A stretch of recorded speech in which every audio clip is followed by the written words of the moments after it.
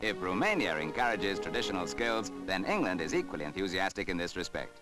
St Mary's Church at Stoke D'Abernon in Surrey is typical of the country's magnificent ecclesiastical architecture since medieval times. Here in England, too, it is the fair sex that delightfully combine with tradition. Actress Ingrid Hafner, for example, has followed her hobby of brass rubbing into many churches of many counties. But St Mary's is one of her favorites.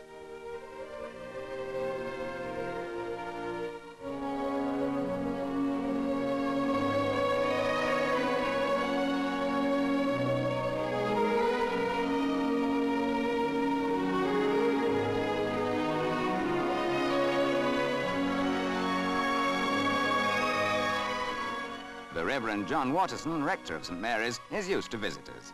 But not many get down on their hands and knees with a sheet of paper and some cobbler's wax. But that's Ingrid's hobby, and those materials are all you need to enjoy it.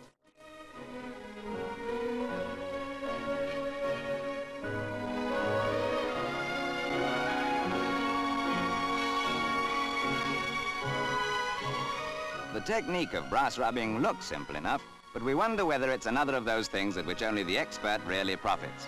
Anyway, Ingrid assures us it's just a matter of placing the paper over the brass and rubbing it with the wax. The brass, often engraved in fine detail, comes out like a photo negative. But Ingrid does stress that the secret is to apply the wax hard and evenly over the paper.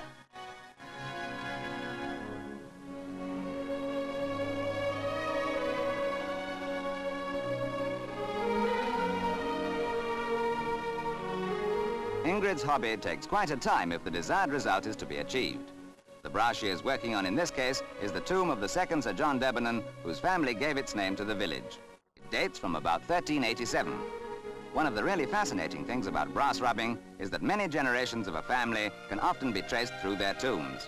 If you can combine that with finding out something about their family history, then it's really exciting.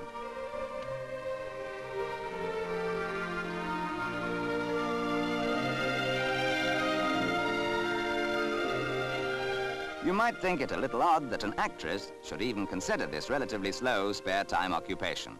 But for Ingrid, it's a rest from the bright lights and the scurry of the world of show business.